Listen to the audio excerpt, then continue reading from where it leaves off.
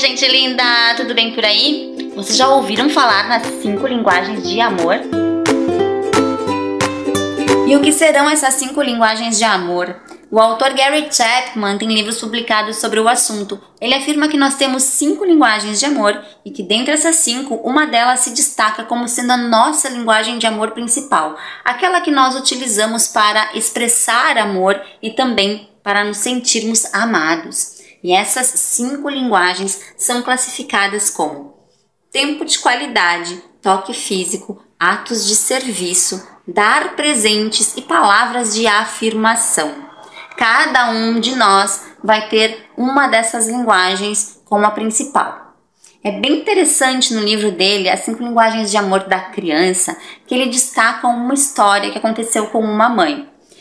Ela era uma pessoa que não era muito acostumada a toque físico, né? Abraços e carinhos. Ela cresceu num ambiente onde as pessoas. Era uma família muito unida, mas as pessoas não tinham esse hábito de carinhos, de abraços.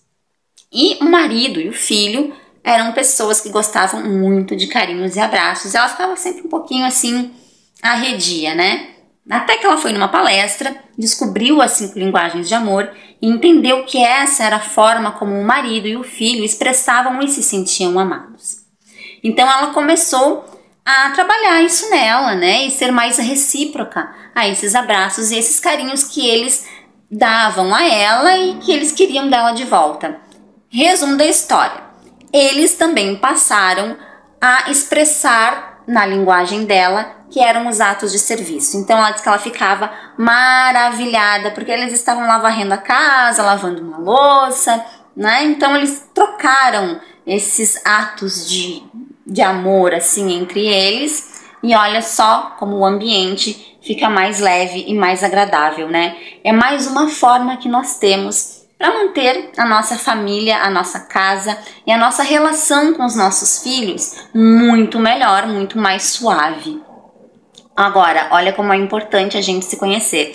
Nós precisamos nos conhecer, né? E conhecer os nossos filhos para entender qual é a nossa linguagem de amor principal e qual é a dos nossos filhos, para podermos falar a linguagem deles e ajudá-los a falar a nossa também.